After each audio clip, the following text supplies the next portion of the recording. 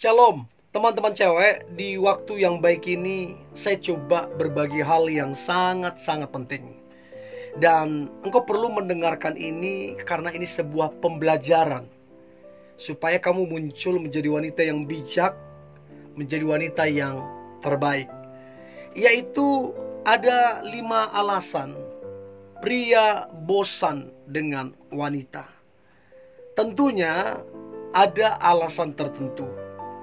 Dan ini bisa menjadi sebuah pembelajaran untuk teman-teman cewek bisa menempatkan dirimu, menjadikan dirimu yang terbaik, dan ini menjadi sebuah pembelajaran. Bagi saya, orang bijak adalah orang yang belajar dari kesalahan orang lain. Bagi saya, orang bijak adalah orang yang berubah, memperbaiki kekurangannya. Itu namanya bijak. Oke, so berikut alasan pria bosan dengan wanita. Yang pertama, terlalu bersikap kekanak-kanakan. Mungkin satu dua kali kelihatan lucu, lucu ya, gemesin ya. Tapi kalau terus-menerus bersikap kekanak-kanakan bukan lucu lagi, geli. Karena ada orang yang akhirnya memutuskan untuk pisah, untuk putus dengan ceweknya. Karena ceweknya ada masalah sedikit ngambek. Ada masalah sedikit menghilang, gak bisa dihubungin, gak bisa diketemuin. Ada masalah sedikit cuek, gak peduli lagi. Terus marah-marah gak jelas. Terus bosanan, ada yang begitu. Itu kekanak-kanakan. Nah saya nggak tahu dari yang saya sebutkan tadi Kamu ada yang mana dari situ? Dan minta maaf Kalau ini terus kamu bawa ke mana pun Maka kamu dekat dengan siapa pun Pacaran dengan siapa pun Ujung-ujungnya akan bosan. Ujung-ujungnya akan jenuh. Ujung-ujungnya akan putus. Jadi berhenti bersifat kekanak-kanakan. Yang rugi siapa? Yang rugi kamu rugi waktu, rugi materi dan lain-lain. Karena apa? Karena sifat kekanak-kanakan tadi. Jadi please teman-teman cewek jangan mudah ngambekan. Teman-teman cewek jangan suka menghilang tidak jelas. Teman-teman cewek mulai bertanggung jawab, mulai memberi perhatian, mulai care sebab hubungan yang dibangun tujuannya untuk kepentingan berdua, bukan kepentingan satu orang. Oke, itu yang pertama. Yang kedua, alasan pria bosan dengan wanita. Yang kedua adalah merasa dikekang. Jadi si cewek mengekang cowoknya. Yang namanya dikekang itu nggak nyaman teman-teman. Yang namanya dikekang itu menciptakan satu tekanan, satu kekecewaan, satu kesedihan ketika dikekang. Dan sama sekali itu perbuatan yang tidak baik. Kalau kamu mengekang, itu namanya kamu membatasi. Kalau kamu mengekang, itu namanya kamu tidak percaya. Kalau kamu mengekang, itu namanya kamu tidak menghargai dan menghormati dianya. Nah, saya nggak tahu kamu tipe cewek yang mengekang atau tidak. Ada yang begitu loh. Karena dia merasa pintar Karena merasa dia kaya Karena merasa dia berkuasa Dia kekang pasangannya. Ada yang begitu. Berhenti Lakukan itu ah, Teman-teman cewek. Takutnya ada pria yang begitu tulus mencintai kamu Begitu sungguh-sungguh serius mencintai kamu. Tapi karena kamu kekang Mutiara itu menghilang. Permata itu meninggalkan kamu karena apa?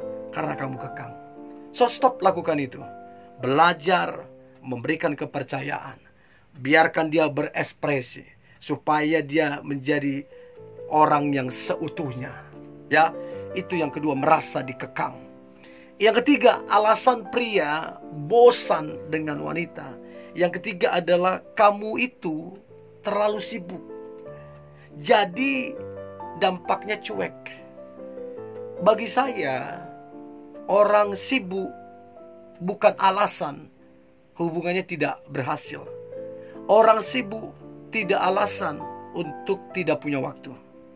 Sebenarnya kalau kita bilang sibuk, sibuk, sibuk, sibuk, itu menandakan kita gagal mengelola waktu. Kita berkata sibuk-sibuk itu berarti kita gagal memanage mana yang prioritas, mana yang tidak. Nah, saya beritahu ya, teman-teman cewek, sorry. Di luar sana ada banyak yang lebih sibuk dari kamu. Di luar sana ada yang lebih banyak jabatannya jauh lebih tinggi, bahkan foundernya atau CEO-nya. Tapi mereka ada waktu untuk pasangannya. Kenapa kamu gak ada waktu? Menandakan bahwa kamu gagal mengelola waktumu dengan baik. Jadi sekali lagi alasan sibuk bukanlah alasan. Jadi semua tergantung bagaimana kamu memanage. Satu kali saya teleponan dengan uh, seseorang dan dia punya pacar, pacarnya terus terang ke dia. Mungkin mulai hari ini saya akan jarang menghubungin kamu. Mungkin mulai hari ini saya akan jarang ngebalas chatmu. Karena saya sibuk. Dan ternyata dia memutuskan untuk lebih fokus di pekerjaannya. Dan apa yang terjadi? Satu dua hari mungkin nggak terjadi apa-apa. Tapi beberapa bulan kemudian dapat datang laporan ke saya bahwa mereka sudah putus. Karena nggak bisa hubungan kalau tidak diurusi, hubungan kalau nggak dikasih waktu, nggak dikasih perhatian, bubar, bubar. Sekali lagi bubar. Karena apa? Karena memang hubungan itu mesti diperhatikan, mesti dipupuk, mesti disayangin, mesti diprioritaskan. Kalau nggak bubar. Untuk itu teman-teman cewek, tidak salah kamu sibuk, bagus. Berarti kamu orang berpengaruh, berarti kamu orang cerdas. Tapi ingat, kamu punya tanggung jawab, Neng. Kalau kamu memutuskan untuk pacaran, berarti kamu setuju, uh, sepakat bahwa kamu bertanggung jawab. Bertanggung jawab apa? Bagi waktu, quality time, memperhatikan, peduli, itu tanggung jawab. Jangan cuma bilang pacar, pacar, pacar, pacar, nggak ada tanggung jawab, nggak bisa. Jadi yang ketiga adalah kamu terlalu sibuk dan cuek pembawaannya. Itu yang ketiga. Yang keempat, alasan pria bosan dengan wanita. Yang keempat adalah masalah di antara kalian tak kunjung selesai. Berhari-hari, berminggu-minggu, bahkan ada orang yang berbulan-bulan masalahnya tak kunjung selesai. Kenapa? Si pria udah berusaha memberikan solusi, memberikan jalan keluar, berkorban, tapi kamu cuek, tidak peduli masalah yang ada. Kamu diamin, kamu cuekin. Lama-lama, sorry, kebosanan itu akan menyerbu hubungan itu. Ya, jadi masalah yang tak kunjung selesai, yang dipendam-pendam, lama-lama masalah itu jadi besar. Tidak terbendung lagi dan di situ sering kali perpisahan terjadi. Untuk itu teman-teman cewek kalau ada masalah selesaikan secepat mungkin. Jangan nunggu karena kalau kamu tunggu bisa jadi masalah. Oke? Itu yang keempat masalah yang tak kunjung selesai. Yang terakhir yang kelima, alasan pria bosan dengan wanita karena terlalu banyak tuntutan Pokoknya harus itu, harus ini. Pokoknya mesti beli ini, beli itu. Pokoknya kamu begini, kamu begini. Terlalu banyak tuntutan.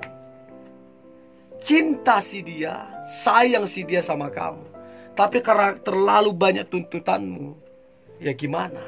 Setiap orang terbatas kemampuannya. Kalau kamu terlalu banyak menuntut dan kamu menuntut di luar kemampuannya, ya kamu bisa kecewa jadi terlalu banyak menuntut juga ini bisa jadi masalah. Saya percaya kalau si pria itu benar-benar mencintaimu. Kalau si pria itu tulus mencintaimu. Tanpa kamu minta, dia udah berpikir apa yang harus dilakukan untuk memberikan yang terbaik untukmu. Dia sudah berpikir apa yang harus dilakukan supaya membuat kamu bahagia. Kalau dia benar-benar mencintaimu. Jadi jangan terlalu banyak menuntut. Ya, so ini yang boleh saya bagikan. Saya berharap ini memberkati teman-teman cewek untuk bisa menilai seorang cowok. Apakah dia bosan atau tidak terhadap kamunya ataupun terhadap hubungan kalian. Oke, tetap semangat, tetap antusias. Hari ini hari yang luar biasa, hari yang penuh dengan mujizat dan berkat-berkat Tuhan. God bless you.